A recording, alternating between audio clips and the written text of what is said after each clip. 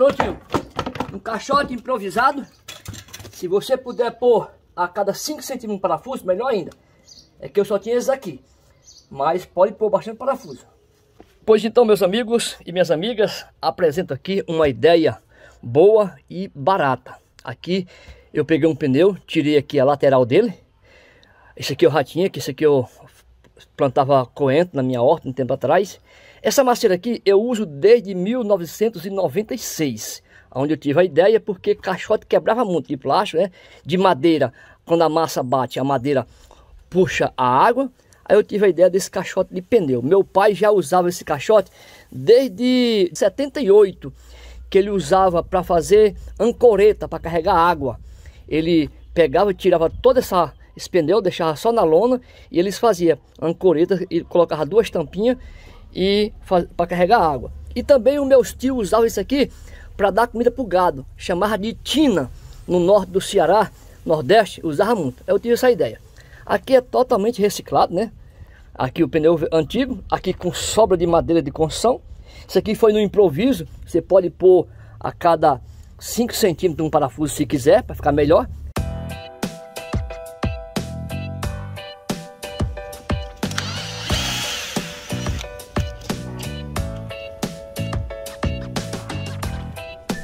Aqui, exatamente seis reais aqui, ó. Seis reais nessa nesses parafusinhos aqui, ó. Comprei três cartelinhas.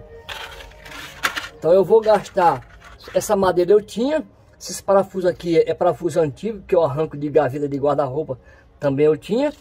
Aí eu comprei esses aqui, ó.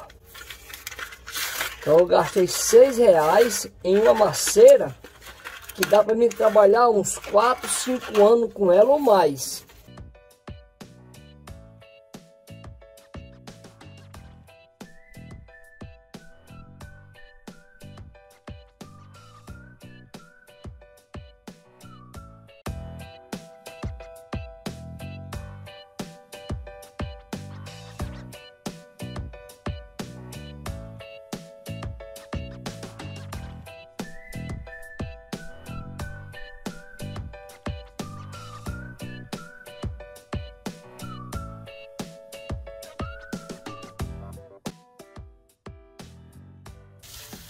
Ó, aqui, ó.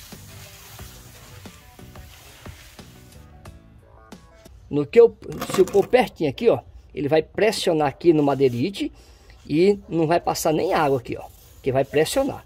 Que depois que pegar a massa aqui, já era, né? Depois eu vou fazer um sem emenda, com madeirite inteiro. Depois eu vou fazer um com chapa de ferro, para vocês verem como é que faz. Eu posso usar tanto parafuso como posso usar prego, né?